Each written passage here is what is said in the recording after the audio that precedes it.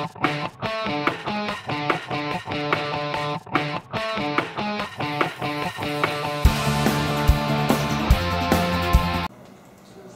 right, somehow we have already reached class number four, which is sort of amazing. I don't know how that happened. But shall we start off tonight by talking about putting plans into actions with our big, newest, bestest buddy in the whole wide world, Mr. Strategy Pattern. So remember, we're talking about design patterns, which are designed to show you the right way to solve a common set of problems that you'll encounter over and over and over again in creating software. So, uh, let's just review here. What are design patterns? Design patterns represent solutions to known programming problems. Once again, they're known programming problems that you will see over and over again. Not only that, but they also represent good programming practice, making maintenance and, of course, extension of your code much easier. We've talked about this, right? So if you're working on a project or a program or something like that, you're trying to solve a problem, it's very, very easy just to see the thing that you're working on. And the problem is, is if you just solve that particular problem, when somebody comes back to change it or modify it, it's going to be a tight little solution, and they're going to go through a lot of effort to extend it to handle other cases. If you thought ahead and said, listen, I need to come up with a general solution for it that works for my problem, but which is also easily extendable, it makes code maintenance a lot easier. We already use object-oriented stuff. Doesn't that already take care of it? And actually the answer is no, it does not. In fact, all of the stuff we're going to be talking about in terms of patterns are designed to extend what you've done already as far as OOP. Object-oriented programming uh, was originally introduced as programs became larger and more complex. Software got larger and larger. The idea was to wrap functionality inside of objects. In other words, inspiration was to divide and conquer. Divide and conquer is always a good thing to do, right? Until oh, OOP appeared, you could divide your code into functions, which in languages like Python and stuff like that, we do a lot of, okay? And it's a good start, but it's not quite enough. And there's some very clear reasons for that. Okay? As programs became longer and longer, some way of dividing them up in terms of easily handled concepts was needed, and what those concepts were turned out eventually to be something that we like to call objects, which you all remember from your C++ class, right? Objects, objects, objects. Okay, good stuff. Let's talk about your kitchen, or maybe your parents' kitchen. You walk into that kitchen, it turns out it's a really freaking complex place. If you had to worry about how your refrigerator works, you'd have to worry about the cooling system. Maybe your parents have one of those fancy fridges that has like separate cooling zones and stuff like that for vegetables and meats and like the overall one. Okay? And if you were in charge of making sure that the refrigerator worked each and every time you went into the kitchen, you'd have to come here and you'd have to adjust like the airflow, you'd have to adjust how it cools the different sections, and even if it's cold, it probably builds up ice and stuff like that, so you'd have to have work in like a defrosting cycle. And oh, by the way, does it have a freezer on it? Yeah. Okay, is the freezer at a different temperature? Yeah. Does the freezer make like ice cubes? Oh my god, yeah. Maybe you got like one of those water dispensers in the front door, okay? This is a complex beast, no matter how you slice it, right? And you thought that was bad, just wait you go over to the dishwasher. So the dishwasher, what, sucks in water, okay? Then it's got like upper and lower rotators that can spray things everywhere. It probably has a, um, a disposal in the bottom of it, so any of the food that comes off, it disposes it and throws it out. And it superheats that water, right? Big part of what a dishwasher does is uses hot water to make sure that everything gets washed and stuff like that. So your dishwasher is a relatively complex thing, and if you have one of those dishwashers that has like a programmable front thing, hot scrubber mode and economy mode and all that, so you gotta figure out how all that stuff works. You thought those were fun, wait until you take a look at the stove. You know, how many burners are on the stove? What, three, four, something like that? How many different positions can you set those burners to? High, low, medium, just temp, and stuff like that? If it's a gas stove, you gotta worry about a pilot light, making sure the gas gets lit and all that stuff. And if it's an electric stove, you gotta keep pulsing it, right? You gotta figure out what the temperature is, and you gotta heat it up until it gets there, and then you gotta back off, and then when it gets colder, then you have to heat it back up. Oh my god. I mean, if you were responsible for making sure that all these devices worked when you went into the kitchen, exactly how much cooking would you get done? Um, none. Absolutely none. This is complex stuff, right? Okay.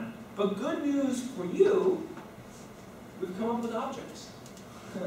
we took all the complexity of the refrigerator and we put it into the refrigerator. So all you have to do is deal with the refrigerator interface, which is what? It's a door. you open it and you shut it, you get your water, you get your ice cubes, you're taken care of, right?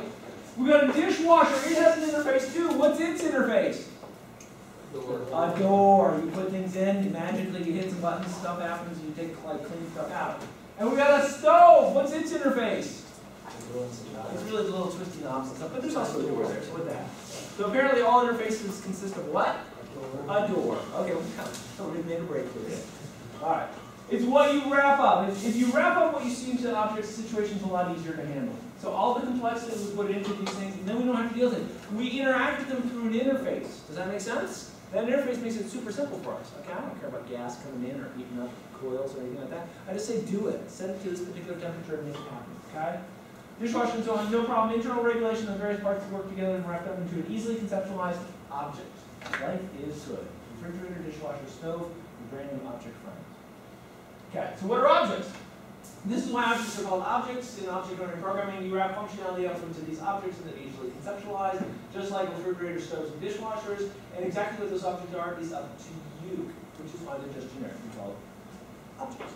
So, uh, programming example, so you got a program, it's got a display, it's got a database. If you take a look inside the display code, it's worrying about things like set raster scan rate, populate the video buffer, and adjust the horizontal hold. Dear God in heaven, if I want to print hello world, do I want to have to worry about any of that stuff? No freaking way, right?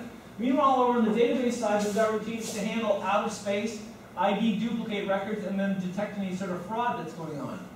Once again, I bet that's super complex stuff. As somebody who just wants to store something in the database, should I have to worry about any of that? No way. Okay? So what we do is we take all the complexity associated with the display, all the complexity associated with the database, and we squish it down into that code. And then we on the outside don't have to deal with it. It's there, it works, it does all sorts of good stuff. There can be tons of complexity inside each object, but when you wrap everything up into a set of objects, life becomes much easier, and that's a good thing for us. You can work in terms of the display object and a few simple methods to expose. That's what makes programming a lot easier, which is why OOP became important. It made life easier for everybody. There are four big OOP building blocks, abstraction, encapsulation, polymorphism, and inheritance. Right now your blood should be running cold, because you recognize all of those from C++, right? Well, we did some, sort of, a long time ago. Let's talk about what these guys are. Uh, abstraction is the easiest one. Basically, it's just breaking up your approach to a problem into natural segments. You do it all the time. It's just taking a big problem and breaking it up into little parts. Uh, the careful consideration of how you're going to handle the problem, abstraction isn't programming. It just means that you're conceptualizing a problem. This is where you come up with the objects and divide the problem into manageable parts.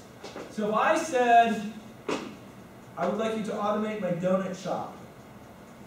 Uh, so I can take orders online, I can take orders through the drive-through, and I can take orders from people who walk into my store.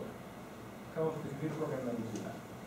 So you'd be thinking, you say, well, I'm going to need, I'm an object-oriented programmer, so I'm going to need to come up with some objects. What objects would you use to create a solution to my donut store problem? People and machines, Well, okay, what kind of people? um, cashier, and probably. So those are employees. Okay, so I've got an object for employees. I think that's great. Okay, what else? Customers? Customers would be another type of object, right? I think that's cool. What else? Donut object, damn straight. Exactly. How many do I have on hand? What type do I have? Okay, cool. All right, so we got three. What else? It could be, uh, you know, however, the machinery, as you were saying, that I use to prepare it, because it can only handle so much, right? Okay. So once again, we can come up with a zillion objects, but that's a good start for our little donut problem, right? So basically, what we just did was abstract the donut problem, right? We said, well, that's a complex problem. We don't disagree with that. So let's say if we wanted to break it up into objects, what objects? The data items needed by each object becomes the object's properties, whether public or private, and the actions each object needs to perform in the real world become its actions in the code. Much of what uh, design patterns are all about has to do with making sure you're setting up the way you attack the problem correctly. That's a huge part about design patterns. You want to get off to a good start. Okay? Working with design patterns often means spending more time on the abstraction part of the process than on the actual doing of it. Let's make sure that we're going to create a good solution before we actually go ahead and start creating the solution. Encapsulation! Woohoo! When you wrap methods and data up into an object, you encapsulate those methods and data. You hide them inside of the object. They're there, everything's cool. Right people can get to them, the wrong people cannot get to them. Okay? The power of working with objects. You remove the complexity from you and turn it into an easily graspable object. I have a nuclear fusion reactor plant. How much energy would you like to get out? Just dial the knob. That's it. That's the only thing you have to worry about. Turns out it's really super complex how I actually generate that energy, but there's just a knob on the outside. A lot or a little, a lot or a little. What it's doing inside is absolutely fantastically complex. You don't care.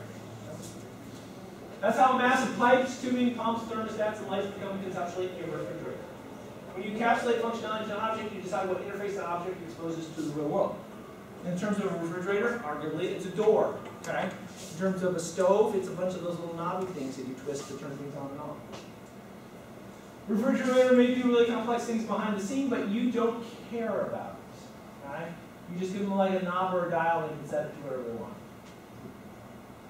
That's the idea behind encapsulation. You hide the complexities inside the objects and create a simple interface, simple interface for the rest of the world to deal with. Okay? Design patterns are particularly big on encapsulation. One of the primary design insights here is that you should encapsulate what changes the most.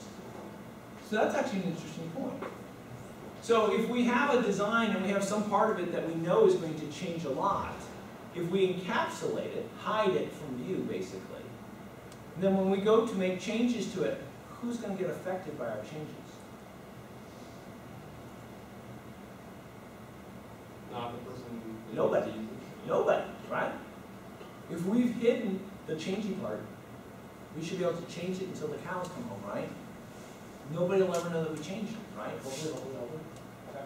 A number of patterns revolve around an idea, extracting the part of your code that changes the most or needs most maintenance, and then encapsulating the part in its own object. Polymorphism, another good cocktail word. How are you doing? Well, I'm working on polymorphism. Oh, is that like ghosts? Is that like when ghosts show up in a house and you have to get rid of? I can't remember. Another cornerstone of OOP polymorphism, the ability to write code that can work with different object types and decide on the actual type at runtime. How cool is that? So I can like write a routine that can handle potatoes or eggs or steak, and I don't have to worry about what I'm sending it until runtime, and then I can send it whatever I dang well please. That's pretty cool. Okay. For example, you might want to write, write code that handles all types of different shapes, rectangles, circles, and triangles. Although they're different shapes, they all have common certain actions as far as your code goes. For example, they can all be drawing. Using polymorphism, you can write your code to perform various actions on the shapes that you're working with and then decide the actual shapes you want to use at runtime. And polymorphism is a big deal because if I can write one routine that can handle a whole bunch of different type of objects, how many routines do I have? One. And how many routines do I have to maintain? One, right? If I have to write a separate routine for every different type of objects, how many routines do I have? More than one, right? So polymorphism lets me write less code, which makes maintenance and all that sort of stuff a lot easier. That's why it's such a big deal. I use polymorphism to write code to perform various actions on the shapes you're working with and then decide the actual shapes you want at runtime. It works with any such shape without being rewritten. In other words, I get one routine, handles a whole bunch of shapes. Code example of polymorphism. Okay, sounds like a good idea. Start with this shape class that draws a generic shape. So we got a little bit of Java here. Class shape, public void draw, system out, print line, drawing a shape. Pretty standard stuff. I mean, it's a silly little thing. If you call this particular routine called uh, called draw for an object of type shape, it prints out hand drawn the shape. Okay, that's cool. Now you extend a new class, rectangle from shape, and let it draw a rectangle when you call it. So class rectangle, here we go, here we go, extends shape. So we suck in all that stuff. We say public void draw, so we're going to polymorph it. In other words, now we're going to have two draws. This is the draw I'll call if you call me with a shape. This is the draw I'll draw if you call me with a rectangle. Does that make sense? Okay? System out, print line, drawing a rectangle. Okay?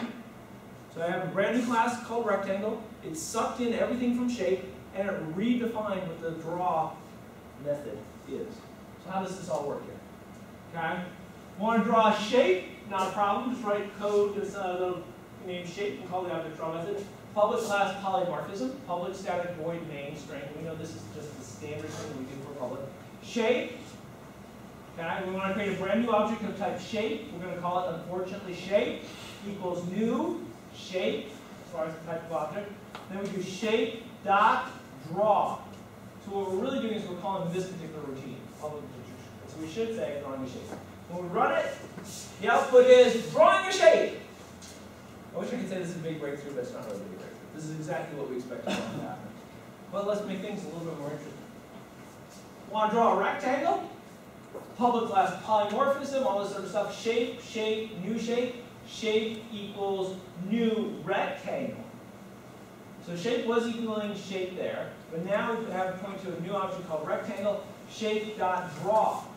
So in this particular case, when we call draw, we're going to go down and call this routine, which should tell us drawing a rectangle. Whoop, drawing a rectangle.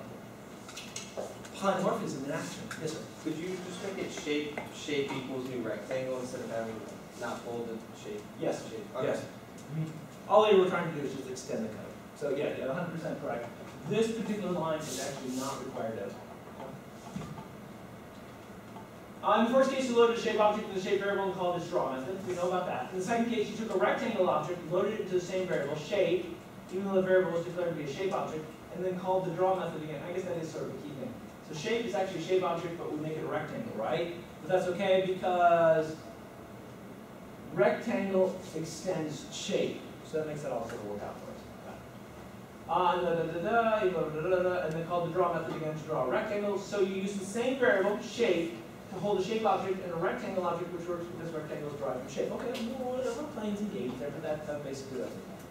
In this way, you can decide what type of object to load into the shape variable at runtime, leaving your code unchanged. Woohoo! That's got to be good. Inheritance. Uh, okay. The last formal cornerstone of OOP is inheritance, the process by which one class can inherit the methods and properties from another. And the example I always use on this one is the Toyota Tacoma engine control system for 2017. Toyota Tacomas inherits the engine control system from the Toyota Tacoma 2016 engine, right? We would like to draw all the functionality from 2016 we start to work on the 2017 one in, and then we'll change stuff, whatever we're having to change from 2017. So inheritance says, I don't want to start with blank sheet paper, I want to draw in a whole bunch of stuff, and then I'll modify from there. So we just saw inheritance at work, because we started with shape, okay? And then we did this extend shape, which meant we drew in all the shape stuff, and then we changed draw to be a little bit different. So what is inheritance? Polymorphism comes into play when you work with design patterns because design patterns tend to favor composition over inheritance. So inheritance in the world of design patterns is actually a bad thing. We know what it is, we understand what it is, we understand what it does, but we really don't like it. The reason we don't like it, uh, composition, which is the alternative, means that we use objects, put objects inside of objects, which is cool. Inheritance sets up an is a relationship, rectangle is a shape, for example. Oh, I guess I have a triangle. Is it rectangle? Yeah, so rectangle is a shape, because we're extending shape. So yeah, we'll, we'll that. So rectangle is a shape. I have no problem. Uh, however, that can introduce unexpected rigidity and problems in your code, especially when it comes time to maintain that code. So inheritance is okay, but it causes us maintenance problems. Okay? Design pattern oriented programming often prefers object composition, in which we put objects inside of objects. Okay? Your code contains other objects rather than inheriting from. To be supple enough to deal with the various types of contained objects in the same way, line. Composition versus inheritance. Okay, so who says that you should favor composition over inheritance? Let's take a look at an example to prove our point. So let's say the programmers at Tesla know all about inheritance, and they decided designing the new Model X SUV, which would be very cool. They know that they're supposed to be designing a series of vehicles. Okay, we're going to do more than just this one. So they started by creating a base class called vehicle with a method named go that displays the text now I'm driving. Okay, that's fine. What does this look like? Here we go. Public abstract class vehicle, public vehicle, public void go, system out, print line, now I'm driving. So when I create an object of type vehicle, I can call the method called go, and if I do that, it's going to print out the, the string, now I'm driving. Is that public vehicle, uh, is just a constructor, I guess? Yes. It's just a little placeholder, but yeah, effectively that would be the constructor. Okay. Then they created new classes such as street racer, using vehicle as a base class. Public class street racer extends vehicle, public street racer, blah, blah, blah, blah.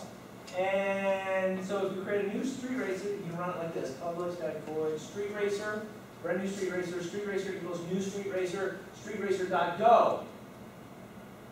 If you call go for street racer, what are you gonna get? No, sorry, right, because we inherited the go method. Does the base class have to be abstract? Is it public abstract vehicle? Is that just, it's like, does it have to be for the base class? On the previous slide, yeah, that abstract. In this example, I think it does. I have to double, double check on that one, to be exactly correct, but I think it does. Trying to remember exactly what the context is there, but I believe so. Okay. Okay, so that's fine, but it turns out Tesla's gonna get into Formula One, really fast electric cars, which actually there is Formula One electric racing, it's pretty cool stuff. Um, so they're gonna create a Formula One racer, but what they're gonna do, is they're gonna extend the vehicle class. Public class Formula One extends vehicle. Public Formula One, blah, blah, blah, blah, blah, all that sort of stuff like that. Now you can run both the street racer and the Formula One. So here's our main routine. Street Racer is the new Street Racer, Formula One is the new Formula One. We can do Street Racer Go and Formula One Go, and we get now I'm driving, now I'm driving. Not really the world's most exciting code by any stretch of imagination, but this is all cool. We're completely good with this. We have no problems with this whatsoever. This is sort of what we expect inheritance to do. We're bringing the Go method into these brand new objects that we're creating, Street Racer and Formula One, and then when we call them, poof, they're just magically there. Okay. This is exactly what we get when we do inherit. Unfortunately, of course, Tesla has decided to expand. They're going to make helicopters. Electric All right. So now we got a public class helicopter. It extends vehicle because it's really another type of vehicle, and they got all their public helicopter stuff. Well, okay, you, you can do that. I mean, that's not crazy, but if you do it, you run into a problem. Street racer go, Formula One go, helicopter go. Now I'm driving, now I'm driving, now I'm driving. You drive helicopters? Not really. What do you do with helicopters? You fly helicopters. Uh, um, so inheritance was good up until now, right? So it doesn't seem quite right. Why should the helicopter be driving? Should it be flying? And the problem only gets worse when Tesla gets a contract to make jets. Okay? Public class jet extends vehicle. Oh my god, now there's all the public stuff there. And now when I run all of them, I get now I'm driving, now I'm driving, now I'm driving, now I'm driving. So our problem, which was bad with helicopters, just got a little bit worse. It's now got jets. Sounds like some changes are required. Jets don't drive in the air. So we need to do something else. So what the Tesla programmer says, you can just override the go method. Okay, that, that's cool, we're all good. So here we go. Public class helicopter extends vehicle, they come up with their own version of go, and it's a system out print line now I'm flying. Uh, problem has been solved, thank you very much, using polymorphism, Uh, now we decided that we want to change that from now I'm flying to now I'm flying at 200 miles an hour. And we're going to be doing more changes later on. And that's the problem here, okay? They're spreading a simple task, a single task, over multiple right? So we started with vehicle, vehicle defined how we did this, now I'm driving thing. Now we've gone to helicopter and we've changed it, okay? We created another version of Go. So now we have it in two places. We have it in vehicle and we have it in, in helicopter. So now we have to change it, if we want to make changes, we have to figure out which one we want to change, and we have to go make the change there. Life has become complicated. It's not necessarily a big problem, but if how you want to handle that task is going to change fairly often, then having to edit all those classes becomes a maintenance issue, right? Uh, now I'm flying at 200 miles an hour might be like a jet thing. I don't think helicopters go at 200 miles an hour. They go fast, but they don't go 200 miles an hour. So maybe I have to put one phrase for a jet and one phrase for the helicopter. Oh my God. My maintenance issue just went up to three, right? One thing I do for cars, one thing I do for helicopters, and one thing I do for uh, jets. And oh, by the way, if I say the Formula One, now I'm driving at 180 miles an hour, and if the street racer, now I'm driving at 90 miles an hour, I mean, suddenly it gets one. Maybe inheritance isn't the answer in a case like this, where you have to spread out the handling of a changeable task over several generations of classes. We've got maintenance issues. You're going to be maintaining a lot of customized codes across generations of classes when the task changes. And as the derived class- classes get longer and involved, it's gonna be tough to maintain them through all those changes, because you've gotta find where the code is. You've gotta find the code, you've gotta change the code, and then you've gotta find the code in all the places that it has. You're going to have to update the Go method forever. Maybe there's a better way of handling the task of making vehicles move than using inheritance. How about using interfaces? Interfaces is a part of the job we haven't gotten to yet, but basically it's a whole bunch of methods, okay? You can set up an iFly interface and give the interface a method named Go that the helicopter class has to implement. Public class helicopter implement, uh, implement iFly. Public helicopter, public, uh, void Go. System out, print, now I'm flying, okay? But that's no. You haven't really solved the problem either, because each class and subclass still has to implement its own version of Go. Remember, that was our big problem. Every version of Go that I have is another version of Go that I actually have to maintain, and that's a pain in the. Okay? And because interfaces don't include code, you still have to write custom code in each class, which means code reuse goes out the window. So we have a problem that we've not yet been able to solve. And we will not be solving it tonight. I'll let you think about the solution over the weekend. I know you'll come back to class on Tuesday going, Dr. Anderson, I know what the solution is. Maybe. So what do we do tonight? We talked about what happens when we create bad code. We talked about what design patterns are. Apparently this is left over from last time. That's okay. That's all good stuff. What are we gonna do next time? We're gonna handle change with a has a instead of an is a. We're gonna draw up some plans, and we're gonna be making our move with the strategy cool would that? Introduce ourselves to our very, very first pattern. I'm looking forward to that.